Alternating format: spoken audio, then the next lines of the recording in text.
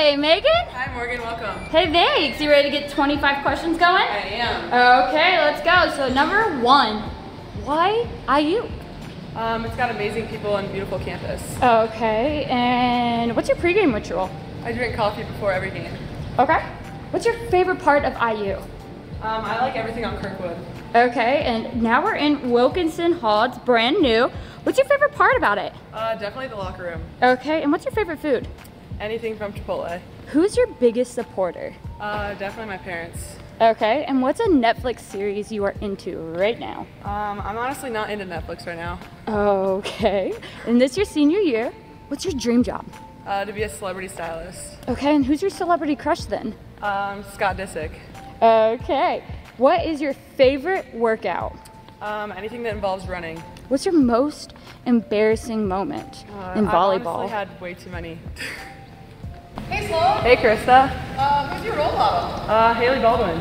Cool, man. Cool. So next, what's something a coach has said to you that has stuck with you this whole time? Uh, to always be the best teammate you can be. And what's one talent you wish you had? Um, I wish I was a better drawer. The best venue to play volleyball in. Wilkinson Hall. Okay. And what is something you wish you could tell 10 year old Megan?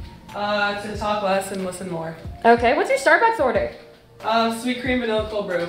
Okay. And you have dogs. What is one thing you think they would say to you? Uh, to stop talking so loud.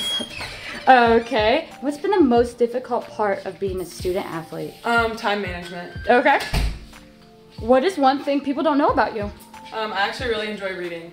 Define a Hoosier. Someone that likes to have a lot of fun. What's your most used app on your phone?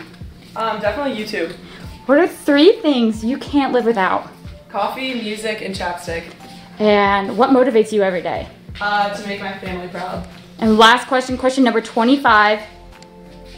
What is your favorite costume the SAB wears to your games? Definitely the peanut butter and jelly sandwich. Well, thank you, Megan. That is it.